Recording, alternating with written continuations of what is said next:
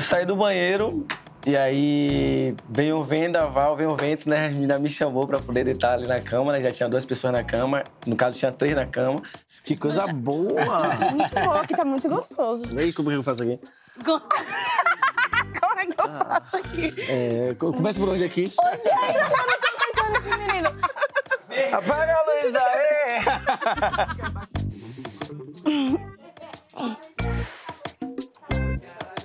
Deus. Gente, não cabe quatro pessoas. Não a logística cabe, dessa falei. cama não é pra quatro. Vamos dividir hoje, então, dois, dois. É, falar, vamos, tchau. falar? Rolou um vento mais forte ainda que ele levou eu e Vic pra poder outra cama. Gente, mas o, não era o Arthur aqui? É que teve pausa técnica. Tô aqui já. E a Isa, pô, falou aquela conchinha de na amizade, só pra. Tava frio o quarto. Aí acabou que fui, fui lá, né? Nossa primeira noite aqui. Fazer o quê? Tô aqui, velho. Aí eu e o Arthur acabamos ali dando um beijo, né? Eu acho que deu match.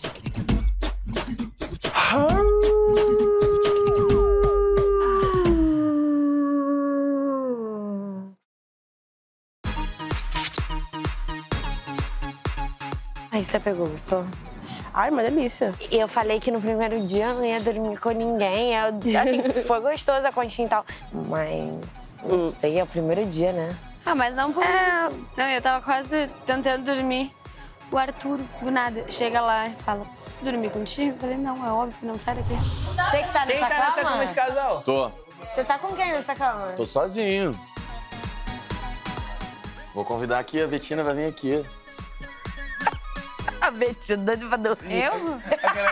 A Eu vou dormir sozinha. Então, eu vou dormir. Aí ele saiu e foi pra cama da Maia. Posso dormir contigo?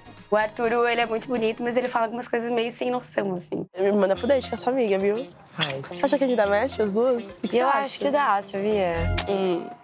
Sabe qual que é o mais meu tipo? O Guto. Baiano. O Guto é o mais É. meu tipo de- da casa toda. A ele é Bahia mais. tem um negócio. assim. Ele é A o mais- Bahia tem um negócio, tem.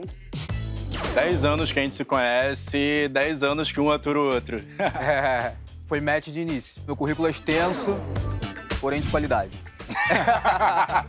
A gente descobriu sobre a nossa orientação sexual, que ambos eram bi, há 10 anos atrás isso não era um fator muito comum. Por isso que a gente nunca mais se desgrudou, porque um entendia o outro desde sempre. Ele sabe meu gosto, então eu tô confiante de que ele vai mandar pra mim pessoas que ele sabe que vai ser match.